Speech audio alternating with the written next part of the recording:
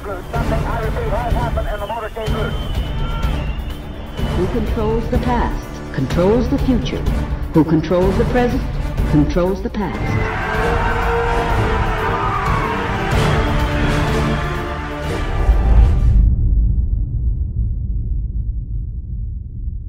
Welcome to the InfoWars Nightly News. I'm Darrin McBreen. It is Thursday, July 30th, 2015. Here's a quick look what's coming up. Tonight, the pro gun story you won't hear about. Crooks crash into a store and get fired upon by the shopkeeper's AR 15. Then, off. Stop! the aftermath of a traffic stop gone horribly wrong. And Dr. Paul Craig Roberts breaks down U.S. relations with Russia. That's next on the InfoWars Nightly News. NATO generals that look so soft and weak going, we're ready for war with the Russians. You don't talk like that even during the Cold War. You don't shoot your mouth off about nuclear war. The Russians aren't doing it. You understand? You understand, you soft, fake pieces of garbage? Protesters are expected to hit the streets of Cincinnati tonight as new graphic video was released of a deadly showdown between a cop and a civilian that ends in tragedy, leaving the suspect dead and a nation in outrage. You're looking at the body cam footage of police officer Ray Tensing. The footage was released yesterday, and you can see and hear everything that happened during the incident.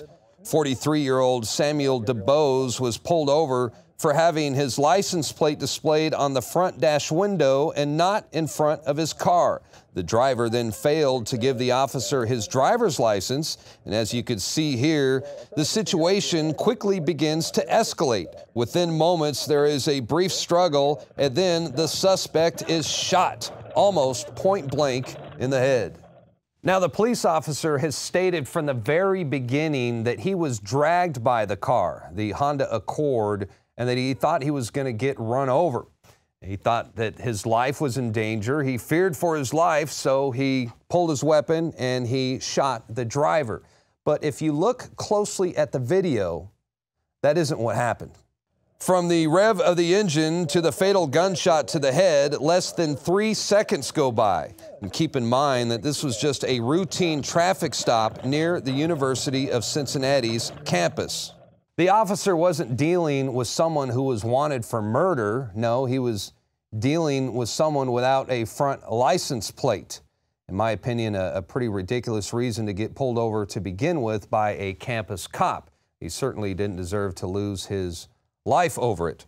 Now, police officer Ray Tensing has been indicted for murder and charged with intentionally killing the man. If convicted, he could go to prison for life.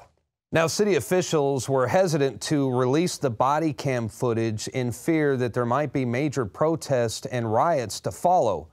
But they did the right thing and they released the footage and also charged the cop with murder.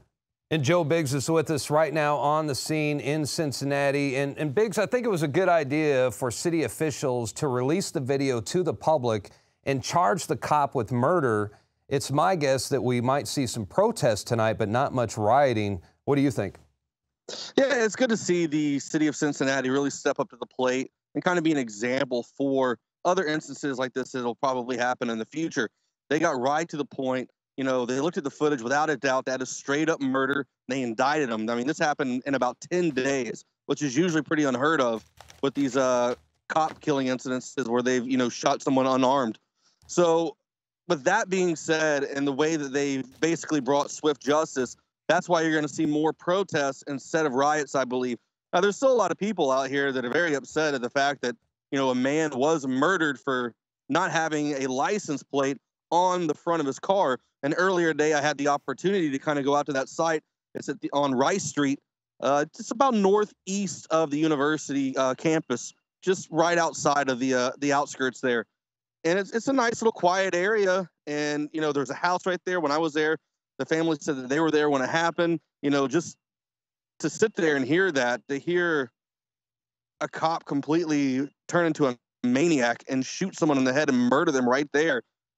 That's I mean, right, and, and it was a it was a campus cop, and I think it's ridiculous for campus cops to pull somebody over for not having their license plate on their their front windshield, or, or for, for not having it on, on front of the car, because he did have it placed on the front of his windshield. Hey, I want to talk about the Craigslist post that was put up yesterday in Cincinnati. And apparently, it called for all black people to shoot the cops and burn the police stations. And it even included graphic instructions on how to target the police. So, no doubt there are some very angry folks out there. Then the cops might want to watch their backs. Have you heard of any threats to police since you've been there? Um, no, I, I came across this post yesterday and uh, sent it over to Mikael Thalen, who put up the article on it. And I mean, that alone is alarming, but at the same time, you have to look at it. Now, is this an actual disturbed person who's very upset with what happened? The fact that, you know, Sam DuBose was murdered by a cop? Or could this be a provocateur putting this up to further create tensions and possibly start a riot based off of that? So you never know with these things, but it's always good to to keep that in the back of your head that something like that could possibly happen. I know that the law enforcement has been notified of this. Numerous other places have picked this up and are uh, are talking about that Craigslist ad. So it's definitely something that's in the back of everyone's mind. Yeah, I think it was just uh, trash talking, but obviously the cops do need to watch their backs. And what what about this guy's rap sheet? I mean. Samuel DuBose, he'd been arrested like 60 plus times prior to the incident. Do you think the campus cop might have ran his name and, and maybe got a little nervous? I mean, that's always a possibility, but at the same time, you're supposed to be a peace officer, which That's right. means you Yep. you go in, you find out what's going on. If things, you know, tense up, then you de-escalate the situation, and you start off with, "Hey, excuse me, sir, can you calm down? You know, can you do this or that?" Uh, at no time was this police officer's life in jeopardy. You can see that clear in the video. The fact that he reached for his gun and shot him, you know, point blank, right dead in the head, is is completely out of control. This should open up the eyes of a lot of people across America. There definitely needs to be some ch- uh, changes in the way these police officers are trained. And I don't necessarily think that they should have their own campus cops with guns. This is something that the Cincinnati police should, I think, take over because they have more experience with this. Well, I, It- it- I was going to say, I absolutely agree with you. And it certainly is a tragedy. And now we know that, that DuBose had just been recently engaged. And there was a very heartfelt interview yesterday about he's got a nine year old son that was talking about how him and the family went out and bought a film projector. They were going to watch a movie. So they're going to have movie night. And, you know, obviously his father never made it home that night. So our hearts and prayers go out to the entire DuBose family. Joe Biggs, any last comments? What's on the schedule tonight? You going to go to protest? What do you got planned? Yeah, I'm going to be hanging around the University of Cincinnati later on. Uh, this is seems to be the forefront of where a lot of the protests have been. But I'm going to be quite honest with you, Darrin. I got a rental car, and guess what? It does not have a license plate on the front. So I'm kind of sketched out. I'm wondering every time a car goes by me or a cop, am I going to get pulled over and shot in the head because I don't have this, you know, license plate on the front of my car? That's right. You might get shot. So watch your back. Watch your back also tonight out there during those protests. All right, thank you. All right, we're going to switch gears right now because I want to talk about an AR 15 success story where a clothing store owner in Wisconsin opened fire on a bunch of thugs who were trying to rob the place. And he successfully defended both his business and his life in the process. Rami Mirror, owner of a Milwaukee based clothing store, posted video of the encounter to the company's Instagram account with a stark warning to any other potential burglars. Don't come to our establishment with guns or try breaking in our stores and expect less than us defending ourselves. We will protect our business and employees at any cost. And check this video out again. You can see in the video how the criminals used a car to smash into the, the doors so the robbers could get in, but they are quickly met with resistance. The owner managed to hit one of the guys as they ran the hell out of there. And they ran out of there in a big hurry. Nice job. So, an AR 15 success story indeed. But wait a minute. Don't tell me there's some of you out there that disagree with that. Oh, not you guys again. But I also believe that a lot of gun owners would agree that AK 47s belong in the hands of soldiers, not in the hands of criminals.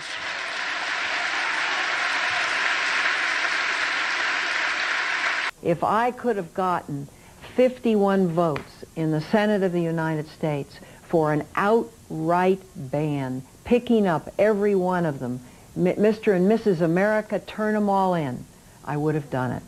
Well, you see there, some people just don't get it. All I could say is, come and take it, Feinstein. Or, in the words of Clint Eastwood, Go ahead. Make my day. You know, with all this talk lately about gun control, it occurred to me that I've yet to see a single politician who can explain to me how they plan to take guns away from the criminal thugs who are out there on the streets right now. Oh, sure, you'll hear plenty of talk about how they plan to take guns away from us, us law abiding citizens. But if you take guns away from all of us legal gun owners, then the only people that will have guns will be the bad guys. In fact, I'm curious. I want to see a show of hands right now. All those for gun control, raise your hands. All right, there's one, two, three, four.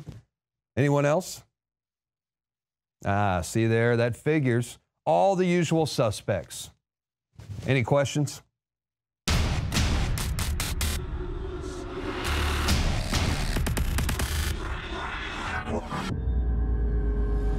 All right, we're going to take a quick break right now, but don't go anywhere because you don't want to miss this next segment. When we come back, we're going to take a look at the standoff between the United States and Russia right now in the Ukraine, a very dangerous and touchy situation that could escalate at any moment and turn into a global conflict. And it was Albert Einstein who said, I know not with what weapons World War III will be fought, but World War IV will be fought with sticks and stones. I'll be talking with the father of Reaganomics, Paul Craig Roberts, about the likelihood of a nuclear exchange with Russia. Is it too late to avoid war? Well, you'll find out what Paul Craig Roberts thinks right after this, so stick around.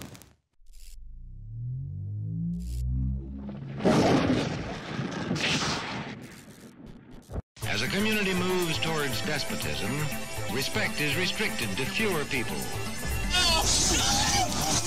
That's veteran Denver police officer Charles Jones IV smashing an unarmed suspect in the face six times. Officers accused of using excessive force on a suspect and then trying to erase the evidence of. I'm, I'm observing what they're doing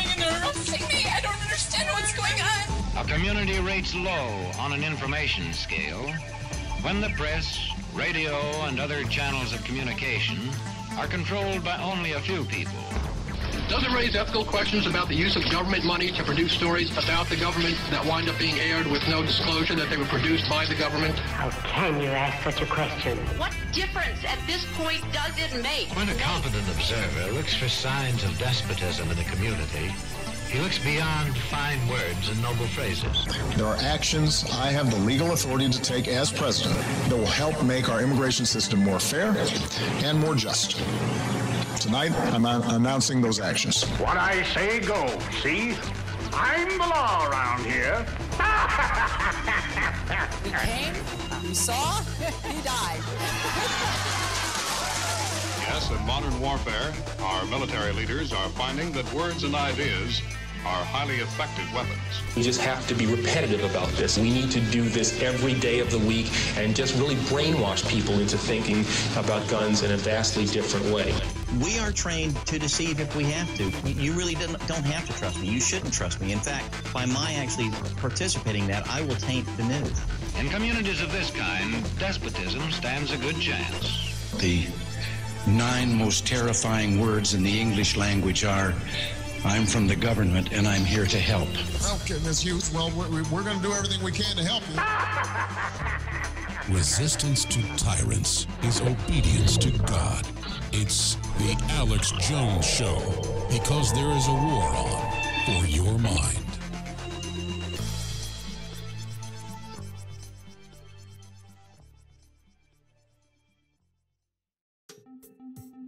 Authoritarians merely want obedience, while totalitarians, whose rule is rooted in an ideology, want obedience and conversion. The authoritarians are the guys in charge who want to stay in charge, and they don't much care about you or what you're doing so long as you stay out of their way. Live or die, it's all same to the regime. Totalitarians are a different breed. These are the people who have a plan, who think they see the future more clearly than you, or who are convinced they grasp reality in a way that you do not. They don't serve themselves, they serve history, or the people, or the idea, or some other ideological totem that justifies their actions.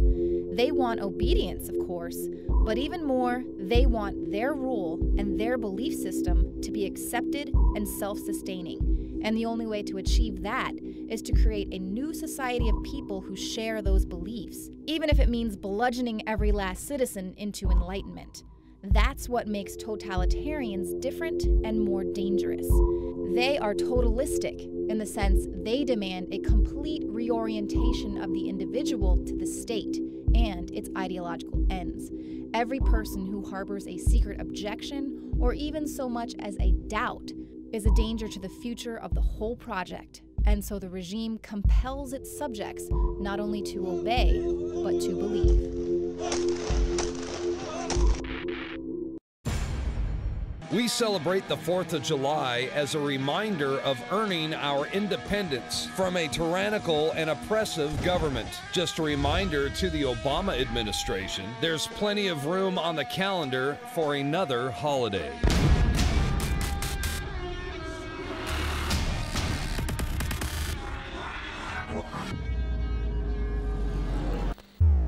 Jakari Jackson here, going to talk to you guys today about civil asset forfeiture. And we'll start with this article from the Daily Caller. Civil asset forfeiture reform gains new steam in Oklahoma. And they describe it as the practice where law enforcement can seize property and keep it even if they don't convict or even charge someone with a crime. Then that person must go through the bureaucratic and often unsuccessful process to get their property back, whether it's a vehicle, cash, or a home. And there's a Senator, Kyle Loveless, who introduced civil asset forfeiture reform bill this past May. And the reason why we want to address this is just like anything else, asset forfeiture is ripe for abuse. In one such case, a prosecutor had used the funds to pay off his student loans and was living rent-free in a home that had been forfeited. So we'd like to think that a forfeited home goes on to house foster children or maybe a seized vehicle goes to uh, take underprivileged children to school, but that's not always the case. And another thing, it's not big murderous kingpins who just have their property seized. It happens to normal people as well. We see the article, Stopping the Abuse of Civil Forfeiture.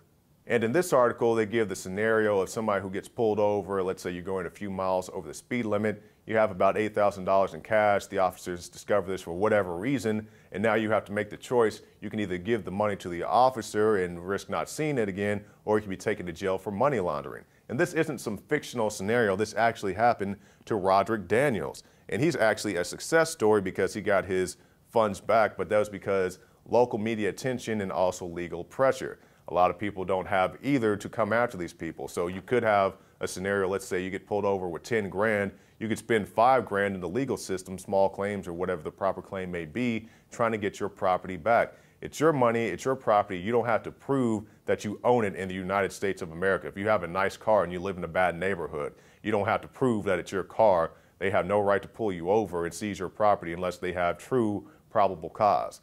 And what can you do about it? And you're saying, well, you're telling me all this stuff. What can I do? Well, if you have a good senator like Senator Loveless in Oklahoma, you can support them. If you don't have somebody who supports this in your area, any place in the United States of America, call them up. Say, hey, I think you guys should get behind this. If they don't have time for it, if it's not a priority, why isn't this a priority?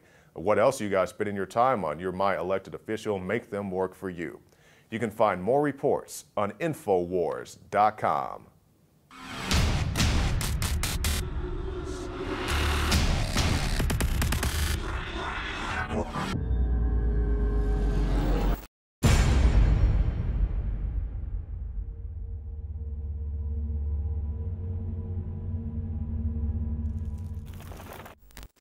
Welcome back to the Alex Jones Show on this Wednesday, July 30th, 2015. I'm David Knight, your host in Austin.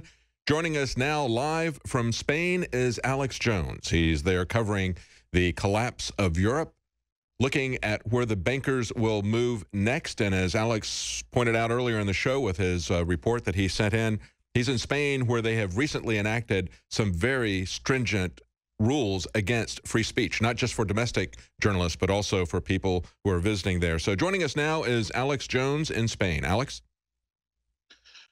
Thank you so much, uh, David, uh, here on this July 30th, 2015 global transmission. I do come to you live from Barcelona, Spain, and I look at the headline Satanic cult used profits from Baphomet statute unveiling to fight anti abortion efforts. Why wouldn't they support child sacrifice? The New York based Devil obsessed cult known as the Satanic Temple used funds from recent PR-driven Baphomet statue unveiling in Detroit to fund an effort to undermine legal moves to ban abortion after 20 weeks, as well as other anti-abortion legislation. That story with video of the group, whether they're black or white or Hispanic, they all have green skin, all so white the skin's green. And anytime we go out and demonstrate and try to save babies, out of nowhere just uh, appears these these ghouls, and you look at them, they have chicken necks. They're incredibly weak. They stumble over potholes. They can hardly walk, but everyone just bows down to them instead of warhammering them. I, I mean, they want to sit there and feed on innocence. Let's let them have a real fight politically. They need to be warhammered. I mean, we don't serve a weak God, ladies and gentlemen. We serve the powerful God that created the universe. And the devil's taken over the churches and all these other systems. And that's why we are in the situation we are, bowing down to these piles of simpering, stinking, dead flesh that are self propelled, walking around animated by their weak, fallen God. These people make me sick. And I didn't mean to get up here and start preaching. I apologize. It's just the, the, the, the falling down and worshiping the green skin maggot vomit that is Satanist makes me want to throw up. I mean, put me in a ring with them. I'll take five of them on at once, give them battle axes, give me one. I guarantee you, I guarantee you, I will send them all straight to hell. These people are weak. And I'm tired of them ruling over us. I'm tired of them. They want to throw up.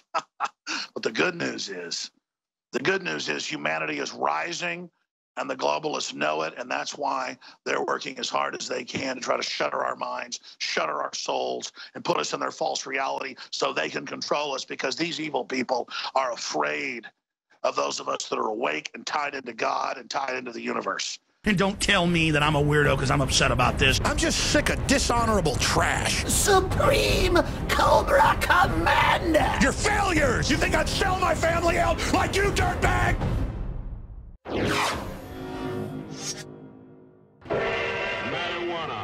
The burning weed with its roots in hell. Should marijuana be legalized? We'll debate the pros and cons right now. Marijuana leads to doing worse things. That's just a fact. I don't care what anybody says. The drug war is a total failure, and the federal drug war ought to be re revisited and, for the most part, gotten rid of. This has corrupted our government, it has destroyed our due process, and it is withholding from people medicine that is very effective, and we need to stop it. We need to roll prohibition back right now. Marijuana is natural. You know, there's so many different things that you can use it for, uh, including, you know, helping cancer patients. I'm a Christian minister. Yeah. And I believe, you know, Jesus would be okay with it. There have been studies proven that children who have 400 seizures a day, that's intense. It's like it's like a seizure a minute, who can't stop just violently convulsing, have been helped and have stopped having seizures up like two to two, three days after applying the cannabinoid oil treatment to themselves, like in their food or something like that. Like that's incredible. There's proof of that. Like it's all over the internet. The mandatory minimums locking people up for non-violent crimes for very long periods of time where there's no discretion for the fact that they were nonviolent, that this is their first offense. No, just lock them up. You two-bit heroes, making life miserable for innocent children. Why don't you go out and hunt real criminals? We got a tip on this drag race. But when we found the marijuana, well, sir, that's a very serious charge. Think about the tens of billions of dollars that Big Pharma makes a year, with close to 20% of the population being on antidepressants when every major study shows that marijuana absolutely destroys depression in people, and Prozac can't even prove that it has any measurable positive effect. And they have to put on the insert that it may make you commit suicide. Things like alcohol kill people daily, um, and it's legal because it can be taxed. Happy to deliver alcohol. But weed is illegal, right? Hey, bud, let's party. I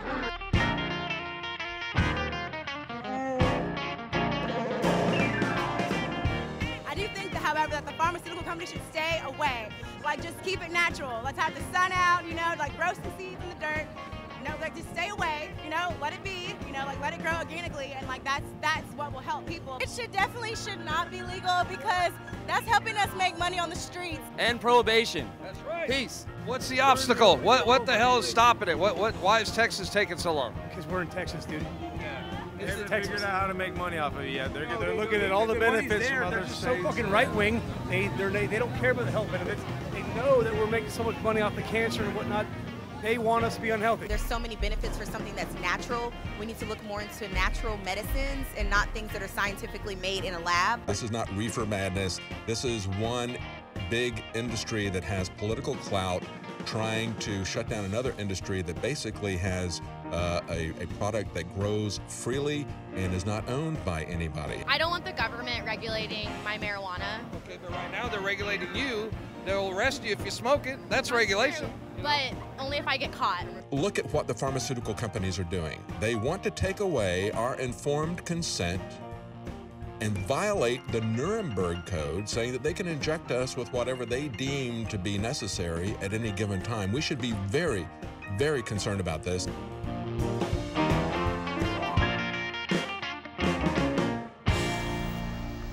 I didn't know you were a weed head, Tony. All my friends are.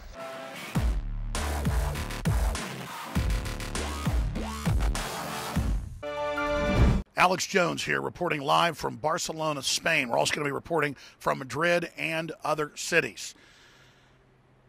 We are investigating the press reports that basically all of Europe is falling into classical tyranny with capital controls, restrictions on the press, persecution of even mild political speech, stuff that used to be a huge deal when other countries did it. So, what's happening to the West? Infowars.com is investigating. Now, I have to be very careful about what I say while I'm inside this country. We have not just discovered the fascism, the tyranny in the newspapers. In Zero Hedge in the United States, London Independent in the UK, uh, basically breaking down the fact that 1984 has come to Spain. We have already experienced it and can't even talk about it until we get out of the country. And I'm not going to be at this point giving folks details about when we'll specifically be leaving and going to the next EU country falling under um, totalitarianism, in their words. Uh, that said, the headlines are everywhere uh, that people are being fined for criticizing police response times, no free speech. Um, they announced just a month ago um, 10 things you can't do. One of them is criticize the king in any way. Now, again, this is supposedly a Western country. We hear criticisms uh, of organizations and groups uh, in China uh, or in Cuba. And we were all brought up that was just absolutely horrible and terrible. Uh, but now, not just here, but in the UK as well, uh, they're now nabbing people off the streets that try to go to Draw Muhammad uh, cartoon events. So free speech is being eliminated. It's being expanded across the board. The United States is trying to bring this in as well. So I want to be clear. We're not picking uh, on Spain. This is a beautiful country. I've studied its history a lot. It's amazing. Uh, it has an ancestral memory of being invaded by the Moors out of North Africa and then having to be uh, reconquered uh, by uh, groups out of northern Spain and Europe. Uh, and they have been basically through a lot in the last uh, thousand plus years. So it's ingrained in the culture to get in line with totalitarianism. But before I get into the latest developments, it's important to note that Franco, Francisco Franco, uh, who in the early 30s basically staged a coup to take over Spain, then groomed Juan Carlos, who wasn't even in line to the throne, to be his replacement upon his death in 1975. Anybody can look this up. It was only Spain that didn't get in trouble at the end of World War II. Italy, of course, got in deep trouble. My grandfather was part of the invasion of that country. Germany lost 20 plus million people uh, for the uh, activities of the Nazi Party. Uh, Spain, that was uh, the first fascist nation to basically join Germany, even before uh, El Duce, uh, Mussolini never got in trouble for it. Now, I want to be clear. The communists killed more people in Russia and in China than the fascists did. So it's a, it's it's not a question of lesser of two evils. I understand why a lot of Spanish people didn't want to go under the tyranny uh, of the Soviets, and they engaged in, in incredible uh, atrocities, and quite frankly, made the fascists look like good guys. So so I'm not comparing Franco to Hitler because I've studied it. He wasn't, uh, but he did call himself totalitarian, and then they put Juan Carlos in in 75. They supposedly had these faux reforms. They're now getting rid of those and we have experienced it here. Uh, not any security at the airport other than guys walking up with machine guns and staring at us in the face and doing it to everybody else, families, you name it, and then saying welcome to the country, letting us right in. Then we went to just get a couple hundred euros exchanged to pay for taxis. So a lot of taxis only take cash. And it was just, you know, incredible. Well, where's your hotel? Well, give us this. We'll give us that. And they were putting in an Interpol database. Uh, let us see your passport. Uh, where are you going? How long are you staying? And they were putting it in an Interpol database right in front of us. See, capital controls are coming here. They're coming to Greece. You have 40% unemployment in this country. With the collapse of society, we're going to see a move towards totalitarianism that is going to stifle the incredibly rich culture of Spain and other countries. The problem is the globalists have sold socialism and communism as the answer to fascism when it's something that's even a more virulent uh, variation historically uh, than even fascism. Uh, but it's like you know, picking strychnine or cyanide. They'll both kill you dead in a hammer. So this is a rich people, a rich culture, really nice folks, very, very polite. Uh, a lot of amazing, uh, you, know, you, know, obviously art is everywhere. Uh, the architecture, anywhere you look, is simply amazing, whether it's medieval or, or whether it's more modern. It's just that one thing is we're here uh, down at uh, one of the famous cathedrals, just videotaping it. And cops run over and get in our face and erase what's on our cameras uh, and apologize for it, but they were bugging their eyes out at us. And they said, oh, we have to do this because of Islamic extremism.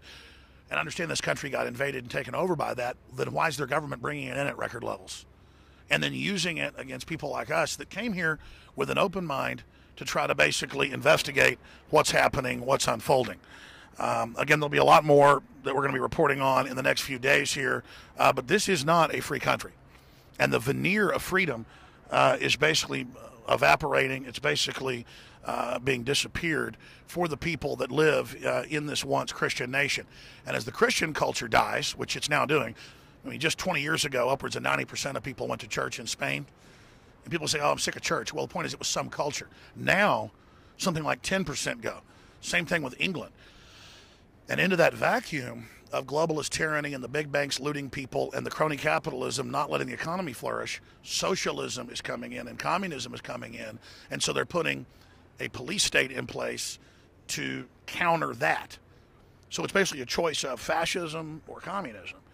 And I just don't want either choice. But I'm not going to sit here and say that right wing fascism uh, is worse than communism because historically it just communism is the worst thing there is. But but that's the false choice you're given. We need to transcend that and have a culture of art, have a culture of true liberty around the Bill of Rights and Constitution itself that comes out of Magna Carta, itself that comes out and helped create the Renaissance that that Spain's been a big part of when it comes to art and literature and everything else. So I come to you from the country of For Whom the Bell Tolls, uh, of course, the Ernest Hemingway novel about the Spanish Civil War. He, he, he, was here during the Spanish Civil War, but he wrote a fiction novel about it. George Orwell uh, wrote a nonfiction book about his experiences here and was wounded fighting the fascists. And I totally get why he was fighting the fascists, but he even wrote in his essays, uh, you can buy them in big compendium books, that turned out the communists were just as bad or worse. And that's what 1984 is about, is if Stalin would have taken over England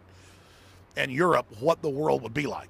And now we've just got the globalists in charge who are just a high-tech version, uh, in the words of Aldous Huxley, uh, of a Brave New World model.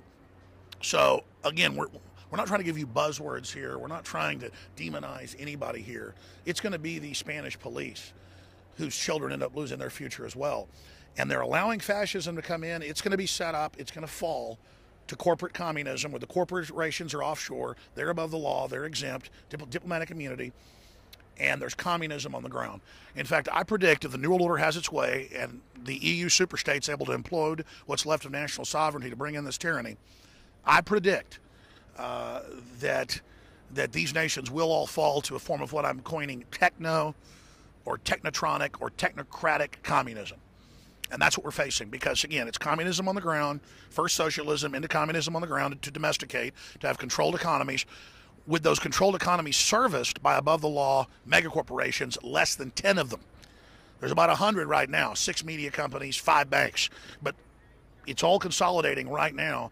And all the ideologies, fascism, communism, all the fake choices we're given will mean nothing when this comes in. But, but remember, I'm in the only country that didn't fall at the end of World War II that was fascist. And they had a soft, uh, you know, fascism after that, but it's back. And I can tell you, I've been in third world countries, I've been in Central America, uh, I've been in totalitarian regimes, and in England, they're also passing similar laws. There has been a conscious decision made uh, to do this. So keep an eye on us here. Uh, we hope to move to the next country and cover what's happening uh, in Italy and in Greece and other areas. Uh, but they're moving to loot the Spanish uh, pension funds. They're moving to loot people's private bank accounts now with bail-ins. This is coming to the United States, and that's why I'm here was to investigate firsthand exactly what's happening. Uh, but just a beautiful country. Always wanted to come here. I've read so many history books about it, uh, and I got to tell you, it's even more amazing than uh, a lot of the stuff I saw in the central areas of London, been there many times. We just picked a church courtyard here because it was a lot quieter from the city noise. This is not even a snapshot of uh, what's happening and unfolding. And uh, it is very, very sad for this country. All right, Alex Jones signing off for Infowars.com. More taped reports, more live reports, uh, and more special reports coming. If you're watching this transmission, you are the hope of humanity. You are the resistance.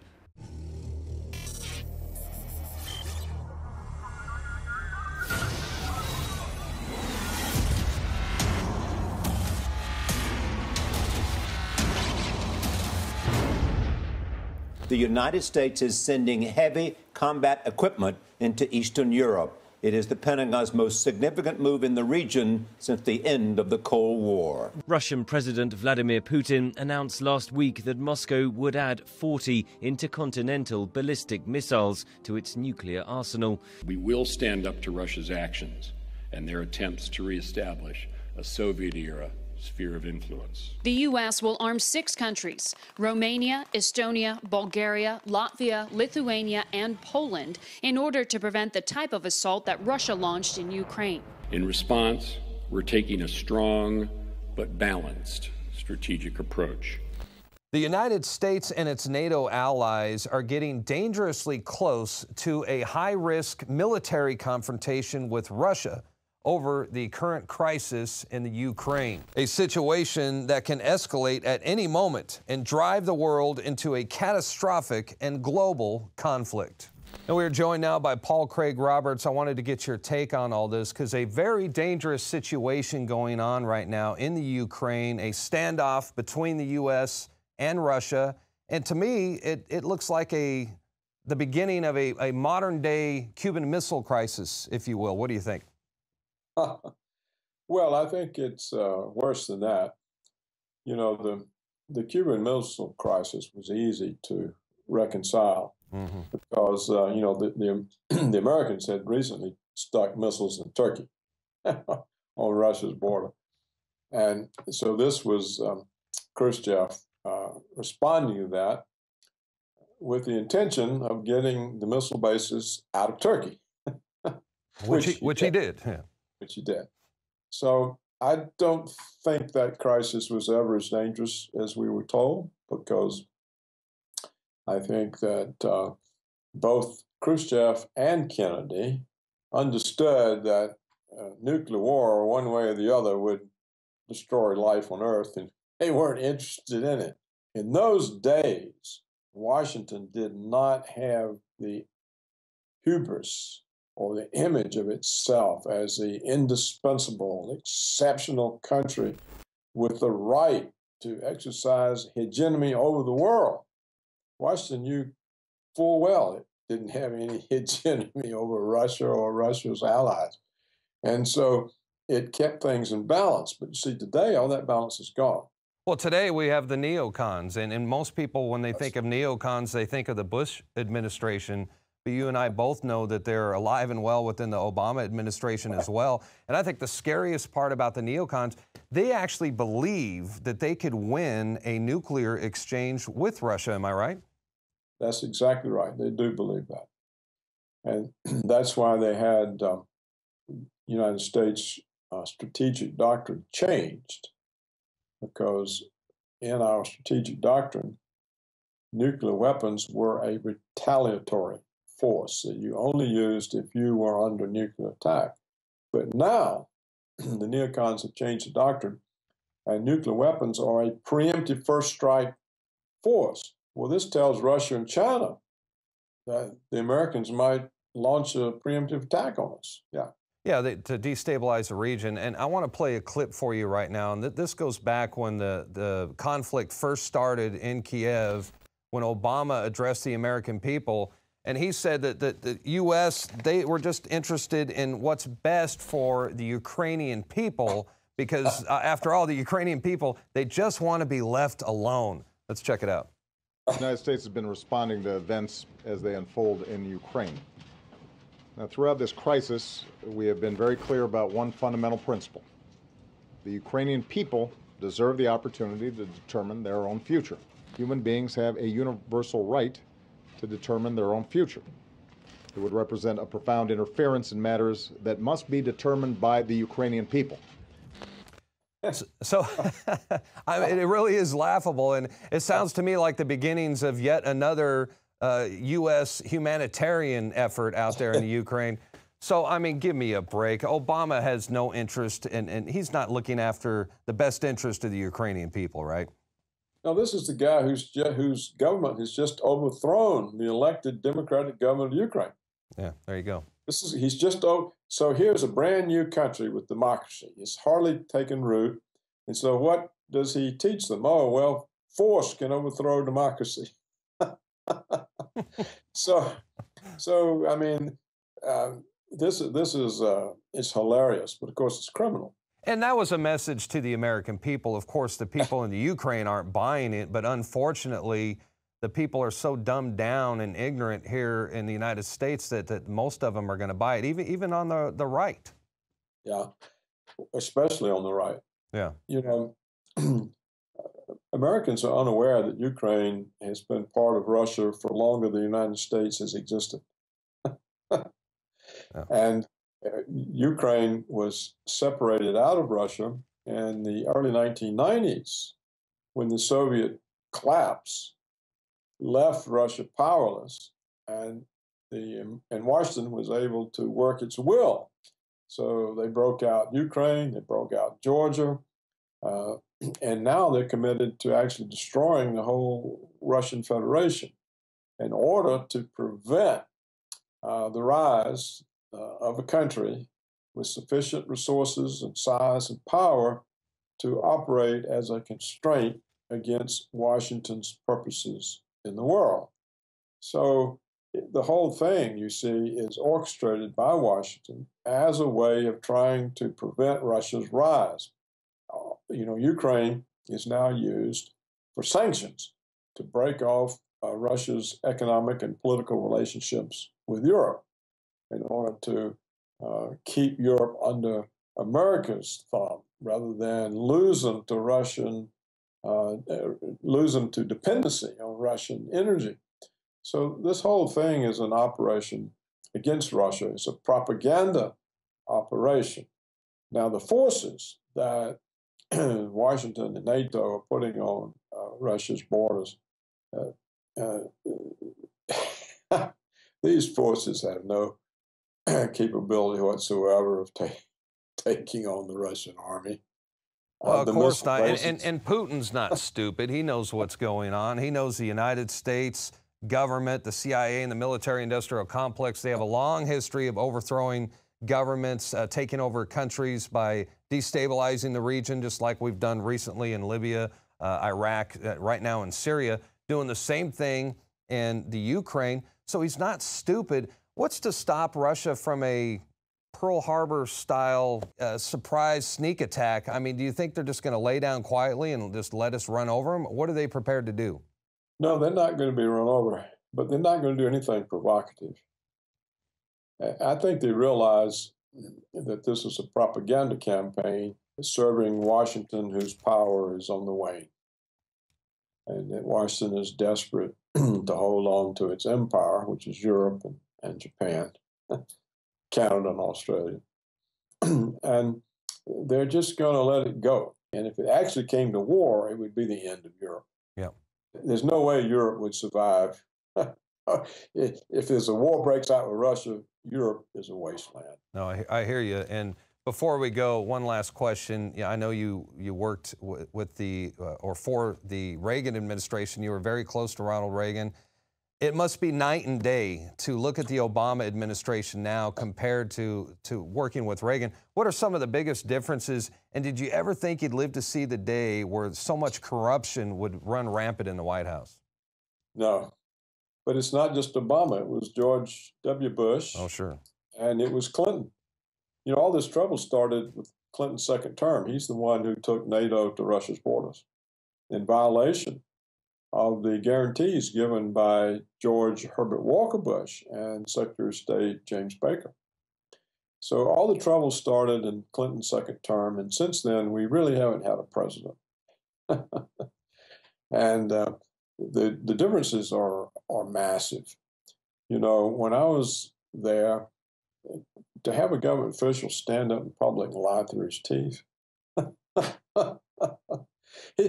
even if the media hadn't called him on it, his colleagues would have. Sure. And but today they all stand up and lie through the teeth. In fact, they never say anything's true. Dave. My mind is going. I can feel it.